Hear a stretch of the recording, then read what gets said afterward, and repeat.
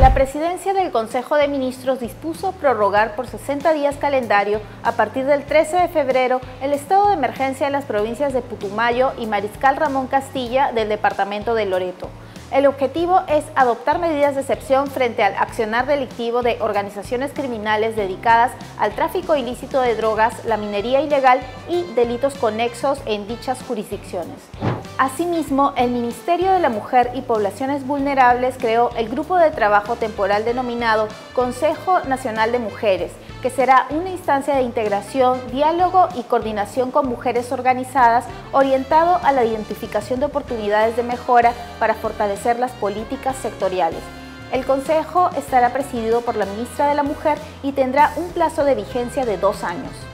Por último, la presidencia del Consejo de Ministros designó a los 21 miembros que conformarán la representación empleadora para la negociación colectiva en el nivel centralizado para el año 2024, así como sus miembros alternos.